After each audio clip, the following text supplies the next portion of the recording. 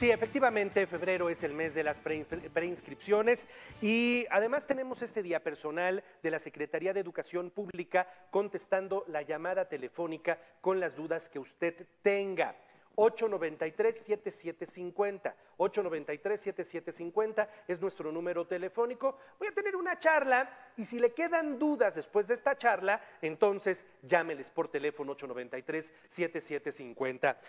Eh, saludo esta mañana a la doctora María Coral Morales Espinosa. Ella es directora general de planeación de la Secretaría de Educación Pública del Gobierno del Estado de Puebla. Doctora, bienvenida. Muy Gracias por estar días. con nosotros. Gracias, Gusto saludarla. Muchas gracias. Comienza el periodo de preinscripciones el día de hoy y termina. El 28 de febrero, Juan Carlos, hemos este, decidido en Puebla tener todo el mes para realizar este proceso. Este proceso se puede desarrollar a través de diferentes ventanas. Hay varias formas de llevarlo a cabo. Así es. En la Secretaría de Educación eh, inicialmente sugerimos la preinscripción en línea. Los padres de familia, madres o tutores pueden ingresar al portal de la Secretaría de Educación www.cep.puebla.gov.mx y allí tener a la mano la NIA, que es un número de identificación del alumno, la CURP, un comprobante de domicilio y muy importante el dato del centro de trabajo o la escuela, la clave, para preinscribir a sus hijos. Esa es una forma. La otra manera es, este, y pensando para la gente que vive en las zonas rurales e indígenas, puede asistir a la escuela y ahí presentarse con estos mismos papeles para realizar la preinscripción. Y además en las coordinaciones regionales de desarrollo educativo, las 19 que están en el estado, eh, el proceso va a durar hasta el 30 de abril. ¿Por qué hasta el 30 de abril? Pues porque siempre, este, bueno, habrá casos, ¿verdad? Eh, como excepciones, niños que vengan de otro estado, este, padres de familia que por algún motivo hayan extraviado documentos y pueden asistir a las coordinaciones regionales de desarrollo educativo. Vamos por partes, doctora. Vamos a tratar de desmenuzar el tema y empecemos con aquellos papás que pretenden preinscribir a sus hijos en línea, que yo coincido con usted, tendría que ser la forma más sencilla. Y voy con preguntas concretas. ¿El sistema en línea ya está abierto en este momento? Está abierto este momento y los padres de familia requieren el NIA para ingresar o la CURP. De ahí se desplegará la pantalla y podrán acceder con datos generales. Si el niño va a preescolar, a primero de preescolar, no tiene NIA, ¿dónde se obtiene o qué sucede? Ah, bueno, ellos entran, ingresan directamente con su CURP y el padre de familia capturará todos los datos que ahí se piden, incluyendo el domicilio. Es decir, si el niño o si el papá ya tiene el NIA del niño, eh, ya el sistema precarga la información. Exactamente, sí. Correcto. Ahora, el sistema mm, nos decía, pide un comprobante de domicilio. ¿Qué se hace con ese comprobante de domicilio? Este, no hay que cargarlo, simplemente hay que este, capturar el domicilio Correcto. porque eh, para que el niño ya ingrese a la escuela se requieren de varias consideraciones en escuelas de alta demanda. Sí, entonces, bueno, una consideración es el, el domicilio del chico, que la escuela pueda estar cercana al domicilio del niño. Le piden a uno eh, la clave de la escuela. Sí. ¿Dónde consigo la clave de la escuela? Ah, bueno, mira, afortunadamente la mayoría de escuelas ya tienen, es un requisito que tengan anotado el nombre de la escuela y su clave de centro de trabajo en las fachadas, A la vista. a la vista del público. Sin embargo, pues también pueden asistir a la escuela o buscarla por internet. ¿Cuántos, eh, ¿Cuántas opciones me ofrece el sistema de claves? Es decir, yo quiero que mi hijo Mm, entre a esta escuela, pero si no es posible que entre a esta otra, ¿cuántas posibilidades me da el sistema? Tres. Tres. Te da tres posibilidades. Este, por supuesto, llenarás la primera en la, en la que tú prefieres. La primera es la que uno La la que preferiría, quiere, ¿no? La ideal. Exactamente. Y en ese orden, tres, tres datos de escuelas. Entonces yo lo primero que les diría a los papás es, papás, antes de que se metan al sistema, tengan a la mano las tres claves de las escuelas que ustedes estarían pensando para sus hijas o sus hijos. La número uno, la ideal, la que ustedes quieren, la que ellos quieren, la opción número dos y la opción número tres, y en ese orden anotarlas en el sistema. Así es, así es, Juan Carlos. Para los papás, reiteramos que van a inscribir a sus hijos por primera vez en el sistema educativo, los pequeños que van a primer grado de preescolar, que no tienen la NIA, se necesita la CURP y luego ellos sí tienen que cargar toda la Todos información. sus datos. todos los es, datos de los niños es, y de los Carlos. niños. Sí, Esto sucede, esto se va a poder hacer todos los días desde hoy y hasta el 28 de febrero. exactamente. Y en un horario de 8 de la mañana a 8 de la noche. Ah, ok, y el sistema está abierto de 8 de la mañana a 8 de la noche. Perdón, el sistema está abierto las 24 horas. Correcto. Y para dudas se tiene un número eh, de la Secretaría de Educación, un 01800 984 32. Lo vamos a poner en Sí, pantalla ahorita mismo. Exactamente, para que este, los padres de familia que tengan algún problema este, puedan llamar y nosotros solucionar las dudas. Ahí está en pantalla el teléfono, téngalo a la mano, anótelo, se lo vamos a dejar unos minutos más, 800 984 32. Doctora Coral Morales, cuando comienza el periodo de preinscripciones, los primeros tres o cuatro días, es muy común que la gente entra al sistema en línea y pues los sistemas este, no son infinitos, los sistemas este, de repente se Sí. saturan. Pero uno quiere entrar ahorita, justo a esta hora, porque quiero que mi hijo vaya al CENCH, quiero que mi hijo vaya al BINE, quiero que vaya al Centro Escolar Así es. Morelos.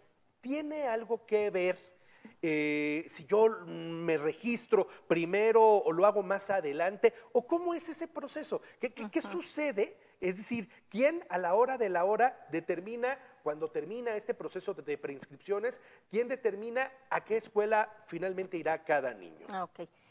Eh, no importa si lo haces hoy, lo haces mañana, lo haces pasado, ¿sí? Este, realmente el sistema va a estar abierto, se le da al papá un folio, la hoja que se imprime trae un folio, y ese número le sirve para todo el proceso. ¿Qué es lo que determina el que tu hijo se quede donde tú quieres o no? La capacidad que tiene la escuela. Este, y bueno, acabas de tocar un punto. eh, hay papás, ¿verdad?, que, bueno, pues prefieren que sus hijos estén en estas escuelas, pues, antiguas, de mayor prestigio, pero que, pues, desafortunadamente, pues, están este, Saturados. completamente saturadas. Para estos papás nosotros les estamos este, invitando a que, pues, a que estén abiertos a otra opción. Em, no se puede recibir a todos porque llega a haber grupos de más de 40 niños. En estos grupos, pues la calidad educativa, por muy excelente que quiera ser, pues va a topar con obstáculos este, por la gran concentración de, niños. Entonces, eh, al final lo que decide, eh, la, la primera cosa que decide el que tu hijo se quede ahí, pues es la capacidad que tiene la escuela. En segundo lugar, si tu hijo o hija tiene alguna necesidad de educación especial, pues este niño puede ingresar a la escuela de su primera elección. ¿sí? Esta es este, una condición para dar una mejor atención, que el niño esté a gusto y que el papá esté a gusto y seguro de dónde va a estudiar el niño. Y después este, hay, hay otras consideraciones, por ejemplo, si tú ya tienes un hermano que va en esa misma escuela, ah, bueno, pues ese es otro factor que abona pues a que puedas quedarte ahí. ¿Todas esas consideraciones las hace el sistema en sí?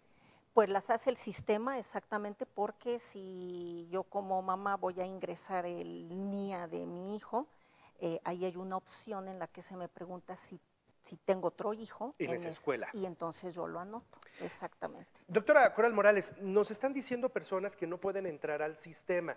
Mi eh, productor, Ricardo Aguilar, me dice que ellos en la cabina sí pudieron entrar. ¿Qué quiere decir? Que seguramente, lo que decía hace un momento, todo mundo trata de entrar a esta Sí. hora y se satura el, el sistema. Mire, nosotros en vivo sí podemos entrar, sí Muy estamos bien, sí, entrando sí. en este momento.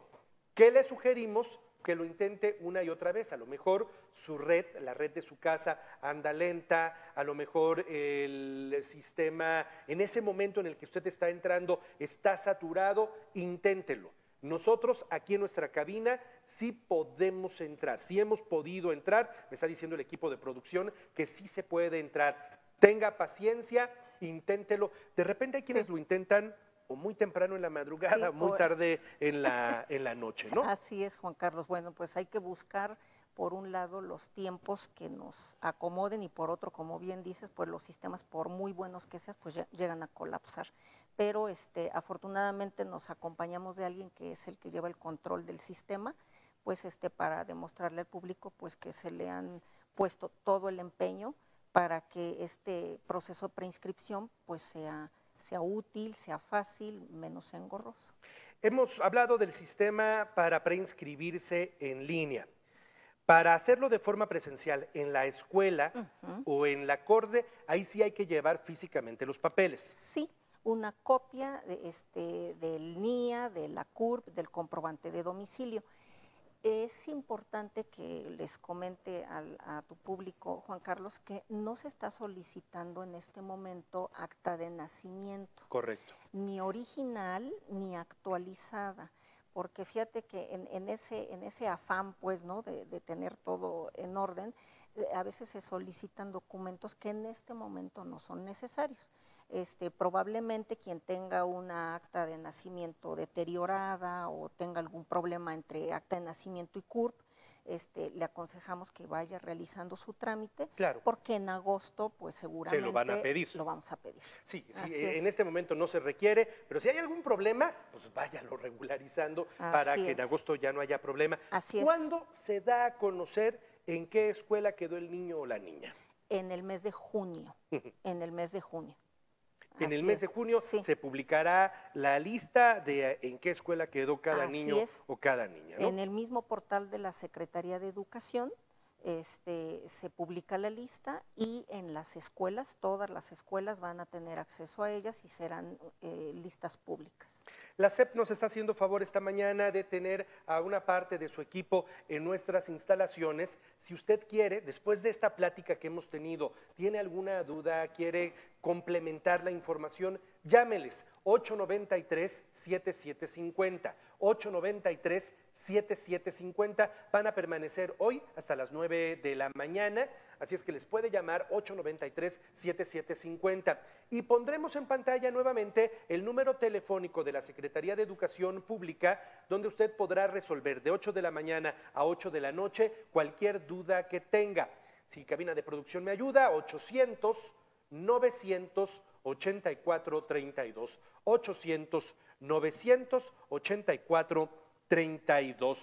Me preguntan, ¿es cierto que en aquellas escuelas como los centros escolares que tienen todos los niveles educativos, ya de plano no hay lugares para primero de primaria o para primero de secundaria? Muy seguramente. Sí, muy seguramente. Pues el eh, niño que viene de sexto de primaria pasará a primero de secundaria y ocupará los lugares. Y este, a eso le llamamos la capacidad instalada. Ellos desde hace tres, cuatro años Ujú. tienen muy pocas posibilidades para ingresar a niños que no vienen de su propio sistema. Este, sí queremos hacer pues este llamado, ¿verdad? A que eh, los padres de familia puedan tener otras, otras opciones.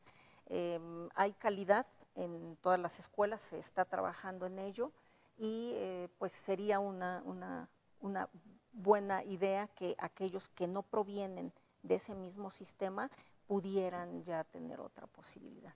Me preguntan, ¿el sistema te da la opción de turno matutino o turno vespertino? Sí, sí, así es. Para que uno elija cuál turno preferiría para, para su hija. Eh, ¿Están pidiendo la boleta parcial para ingresar a secundaria? No, No, no, no. No, no, no. En este momento no. sí, no. So- los, los documentos que acabo de mencionar son los que realmente son indispensables para realizar el proceso. Ah, hay escuelas pues que solicitan, digamos, este, documentos extras por si requieren de tomar alguna otra decisión. Otro tema interesante, años cumplidos. ¿Cuántos años cumplidos y a partir de qué momento se deben tener esos años cumplidos para el proceso de preinscripción e inscripción? Lo voy a buscar. Chéquemelo, por favor. Sí, por supuesto. Años cumplidos. Años cumplidos. Bueno, este, para entrar a primaria tienen que ser seis años. Seis años cumplidos. para eh, secundaria 11, eh, Ujú. a partir de 11 y hasta 15 años. Para entrar a preescolar, me preguntan, ¿se deben tener tres años cumplidos? Dice, mi hijo tiene dos años en este momento. Para el inicio del ciclo escolar tendrá tres años. ¿Ya lo puedo meter a preescolar? Sí, años cumplidos en el momento de ingresar. Ok, los años cumplidos no son al día de hoy, al No, día no, de la no, no, preinscripción, son al momento del inicio del ciclo Exactamente, escolar. del ciclo escolar, ¿sí? Bueno, pues mire, si le quedan dudas, si le quedan preguntas, y si usted cree que se me olvida preguntarle algo, dígamelo con toda confianza, doctora. 893-7750 en nuestra sala de redacción, equipo de la Secretaría de Educación Pública, pero también a partir de las 8 de la mañana al 800-900, ya se me olvidó, ahí está, 800. 84, 32. 800 900 84 32 y este número opera de 8 de la mañana a 8 de la noche. Sí se puede entrar al sistema, el sistema sí está funcionando. Puede estar saturado, inténtelo una y otra y otra vez y seguramente va a entrar, pero seguramente también a esta hora mucha gente está intentando entrar al sistema. Ah, me, me están preguntando, ¿tiene que ser en computadora el registro en línea o se acepta a través de celulares? A través de celulares. También. Sí, a través sí, de sí, sí, sí, celulares. sí. Perfecto. Así es. Pues, doctora, yo creo que en la medida en que pase el tiempo, si nos quedan dudas, la estaremos invitando Claro que sí. nuevamente al programa. Claro que sí, Juan Carlos, con muchísimo gusto. Le agradezco mucho a la doctora María Coral Morales Espinosa, ella es la directora general de planeación de la Secretaría de Educación Pública y entre paréntesis, déjeme decir, me dio mucho gusto saludarla, fue mi maestra en secundaria y en prepa de química y de biología, Así es. de química y de Hace biología. bastantes años. Hace ya algunos años, hace ya algunos años. Qué gusto verla, doctora.